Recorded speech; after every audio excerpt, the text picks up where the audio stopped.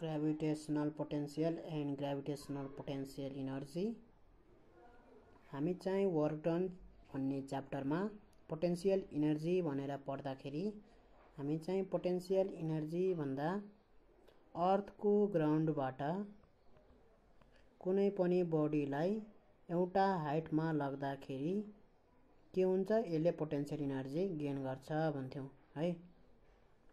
Potential energy gain गर्छ भन्थ्यौँ।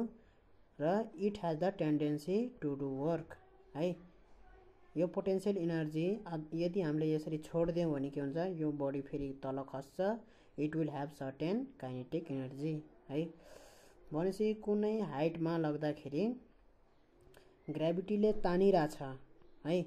यसलाई कन्टिन्युसली ग्राभिटीले तानिरहेछ तापनि हामी यसलाई चाहिँ यो पोजिसनमा मेन्टेन गरिराख्नलाई है? मेन्टेन गरिराख्नलाई हामी चाहिँ यसमा चाहिँ के गर्नुपर्छ? फोर्स एप्लाई गरेको हुनुपर्छ है? र it will have certain potential energy at this position है? अब अर्थको फिल्डमा चाहिँ अर्थको फिल्डमा चाहिँ हरेक पोइन्ट पोइन्टहरूमा ग्राभिटेसन फिल्डमा पोइन्ट पोइन्टमा फरक फरक ग्राभिटेसनल पोटेन्सियल इनर्जी हुन्छ है? पोटेन्सियल इनर्जी भने पछाडि कुनै पनि बडीलाई है कुनै पनि बडीलाई अफ मास यम मास जतिसुकै होस् है त्यो मासले यहाँ पोटेन्सियल इनर्जी जति हुन्छ कुनै पोइन्टमा त्यो भनेको ग्राभिटेसनल त्यो भनेको के हो त्यो पोइन्टको पोटेन्सियल इनर्जी हो त्यो पोइन्टको पोटेन्सियल इनर्जी हो है। र यदि त्यो मास चाहिँ वान केजी भयो भने के हुन्छ त्यो पोइन्ट चाहिँ ग्राभिटेसनल पोटेन्सियल हुन्छ है? त्यो पोइन्टको चाहिँ ग्राभिटेसनल पोटेन्सियल हुन्छ है? ग्राभिटेसनल फिल्डमा हरेक पोइन्टहरूमा हरेक यहाँ छुट्टा छुट्टै पोइन्टहरूमा भिन्न भिन्न के हुन्छ? भिन्न भिन्न के हुन्छ? पोटेन्सियल हुन्छ ग्राभिटेसनल पोटेन्सियल हुन्छ। र वर्क डन च्याप्टरमा र हामी यहाँ यो चाहिँ ग्राभिटेसनल पोटेन्सियल चाहिँ केमा डिपेन्ड केमा उस हुन्छ? यो डिस्टेन्समा जस्तै यो डिस्टेन्स र यो डिस्टेन्स बराबर छ भने this two points are set to have equal potential है? इक्वल ग्राभिटेसनल पोटेन्सियल है? यदि यो दुईवटा डिस्टेन्स चाहिँ बराबर छ भने है? सिमिलरली यो डिस्टेन्स पनि त्यही बराबर छ भने this all points are set to have equal gravitational potential है? र अब त्यसमा मास कति कत्रो मास राखेछ? जत्रो ठुलो मास राखेछ त्यत्रै ठुलो ग्राभिटेसनल पोटेन्सियल इनर्जी हुन्छ है? पोटेन्सियल र पोटेन्सियल इनर्जीमा फरक त्यति हो है? पोटेन्सियल भन्दाखेरि हामीले चाहिँ वान केजी मास सपोर्ट उ गर्छौँ। पोटेन्सियल इनर्जी भन्दाखेरि यम यम केजी मास सपो सपोज गर्छौँ है? त्यहाँ जत्रो ठुलो मास त्यत्रो धेरै पोटेन्सियल इनर्जी है? र एक केजी मासको लागि फर युनिट मासको लागि हामी चाहिँ ग्राभिटेसनल पोटेन्सियल भन्छौँ है? Gravitational potential is same at certain distance है? एउटा अर्थबाट सर्टेन हाइटमा चाहिँ सर्टेन डिस्टेन्समा हाइटमा चाहिँ के हुन्छ? चारैतिर के हुन्छ? ग्राभिटेसनल पोटेन्सियल सेम हुन्छ है?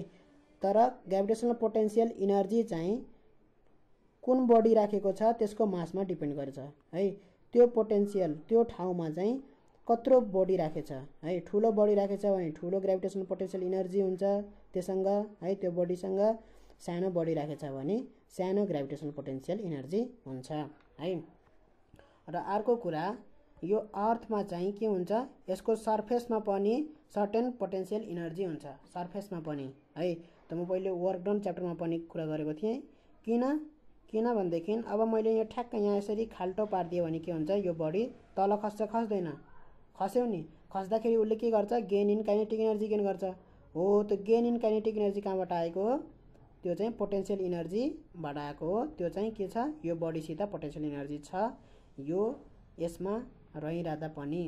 सर्फेसमा हुँदाखेरि पनि के हुन्छ? त्योसँग सर्टेन पोटेन्सियल इनर्जी हुन्छ है? भनेपछि मैले यो सर्फेसबाट चाहिँ यति हाइटमा लगिदिएँ भने चाहिँ यससँग पोटेन्सियल इन इनर्जीको मैले जुन डिफ्रेन्स हुन्छ यहाँ भएको पोटेन्सियल इनर्जी र यहाँ भएको पोटेन्सियल इनर्जी त्यो भनेको एमजिएच वर्क डन भयो है? MGH suppose h is very small h is very small with comparison to radius of the earth किन? किनभनेदेखि यहाँदेखि यहाँसम्म लाँदाखेरि हामीले फोर्स जुन लगाएको हुन्छौँ फोर्स इजकल टु के हुन्छ हाम्रो? फोर्स इजकल टु के हुन्छ हाम्रो? एमजी है? त्यो एमजी चाहिँ हामी बराबर मानेछौँ। यहाँदेखि यहाँसम्म जाँदाखेरि फोर्स चाहिँ हाम्रो भेराइ भएको छैन भनेर मानेको छौँ है? तर यदि हामी हाइट चाहिँ एकदमै कम्पेरेबल टु रेडियस रेडियससँग कम्पेयर गर्न सक्ने हाइट मानेछौँ एकदमै ठुलो हाइट भने त्यतिखेर हाम्रो फोर्स के हुन्छ? भेराइ हुन्छ है। फोर्स इजकल टु के हुन्छ? हाम्रो जिएमएम अपन आर स्क्वायर हुन्छ। आर प्लस एचको होल स्क्वायर हुन्छ है। यो हुन्छ है। अब हाइट चाहिँ कम्पेरेबल टु रेडियस छ भने हामीले लेग्नेट गर्न सकिँदैन है। त्यतिखेर हाम्रो फोर्स के हुन्छ? हाइट अनुसार चेन्ज हुन्छ है। Fo force is inversely proportional to r plus एचको whole square जुन छ नि हो। यो हाइटमा डिपेन्ड गर्छ यो फोर्स है। जति माथि गयो त्यति कम फोर्स लाग्छ।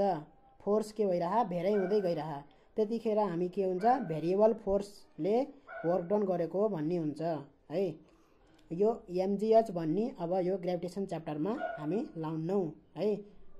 है work done equal to MGH जुन गर्छौँ त्यो हाम्रो यहाँ चाहिँ हुँदैन है? यति कुरा बुझौँ। र अब नयाँ डिफिनेसन के आयो पोटेन्सियल इनर्जीको कुनै पनि पोइन्टमा। सपोज मैले यसलाई पोटेन्सियल इनर्जी भनेर चाहिँ यसरी डिफाइन गर्न सक्थेँ है। Potential energy is the work done from the surface. यो सर्फेस सर्फेसबाट चाहिँ यहाँसम्म लाँदाखेरि मैले कति वर्क डन गरेँ है? त्यो वर्क डन चाहिँ पोटेन्सियल इनर्जीको फर्ममा हो है? भनेपछि त्यो पोइन्टको potential energy is the work done work done in taking a body of mass m from the surface of the earth to that point है? सर्फेसदेखि त्यो पोइन्टसम्म लान कति वर्क डन गरेँ? हो यस्तो डिफिनेसन मैले बनाउन सक्थेँ है? तर यस्तो डिफिनेसन किन भएन भनेदेखि हाम्रो यो सर्फेसमा पनि के छ? सर्टेन पोटेन्सियल इनर्जी छ। यदि यो सर्फेसमा पोटेन्सियल इनर्जी जिरो भएको भए हामीले यसको कम्पेरिजनमा चाहिँ यसको पोटेन्सियल इनर्जी चाहिँ हामीले त्यसरी डिफाइन गर्न सक्थ्यौँ। केही कुरा बुझेछ यहाँ है? सर्फेसमा यदि पोटेन्सियल इनर्जी जिरो भएको भए है? र सर्टेन हाइटमा चाहिँ पोटेन्सियल इनर्जी समथिङ भएको भए हामीले चाहिँ सर्फेसको रिफरेन्समा वर्क डन हो भनेर वर्क डन हामीले गरेर त्यसरी डिफाइन गर्न सक्थ्यौँ। है। बट सर्फेसमा पनि सर्टेन पोटेन्सियल इनर्जी हुन्छ। त्यही भएर हामीले यसको डिफिनेसन चेन्ज गऱ्यौँ। हामीले चाहिँ पोटेन्सियल इनर्जी भनेर के डिफाइन गरेछौँ भन्दाखेरि the gravitational potential energy at a point in the gravitational field is define as the amount of work done while bringing a body from infinity from infinity भनेछ है। अब यहाँ इन्फिनिटीमा के हुन्छ? इन्फिनिटीमा के हुन्छ हाम्रो? त्यहाँ चाहिँ ग्राभिटेसनल फोर्स चाहिँ हुँदैन है?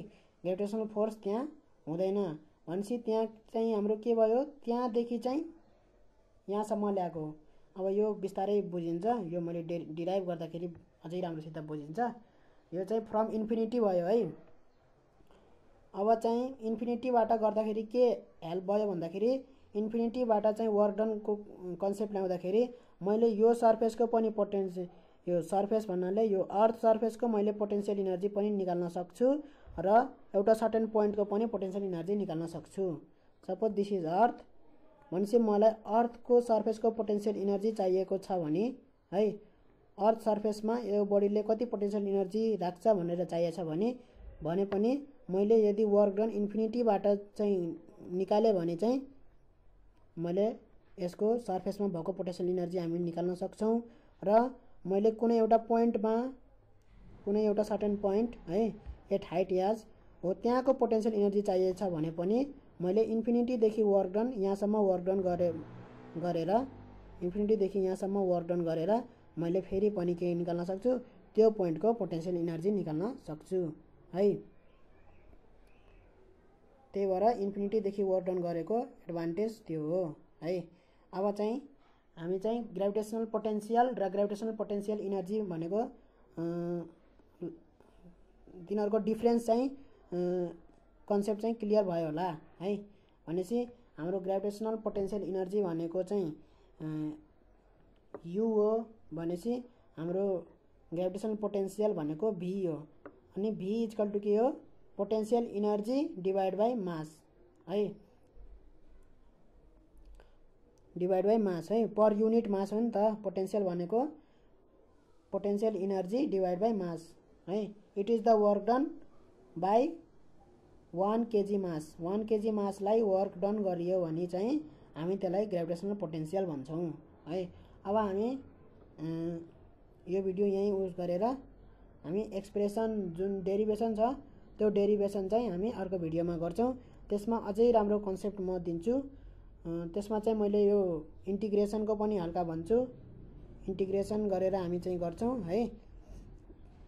ल यो भिडियोलाई यहाँ पज गरौँ र अर्को भिडियो हामी सुरु गर्छौँ।